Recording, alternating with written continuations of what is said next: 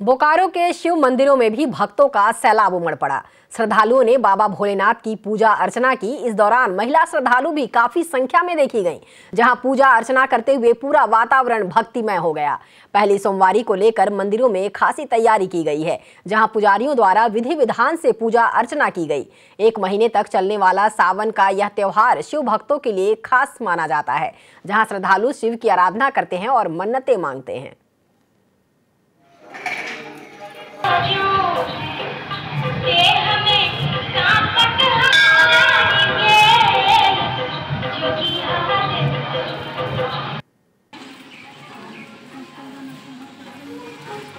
सावन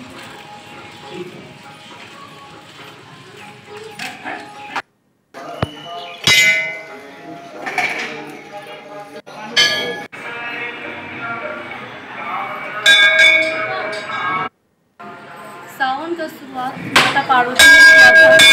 उन्होंने सावन में सोलह सोमवार का व्रत करके महादेव जी को इतना खुश कर दिया कि महादेव जी ने उनको जीने का वरदान ही नहीं यानी कि अपनी पूरा अर्धांगिनी बनाने का पूरा सुख प्राप्त दे दिया। सावन में सावन में पूरा जगह जगह जहाँ देखते हैं वहाँ हरियाली ही हरियाली होता है। सावन में भक्त लोग बाबा धाम सिक्का धाम का यात्रा करते हैं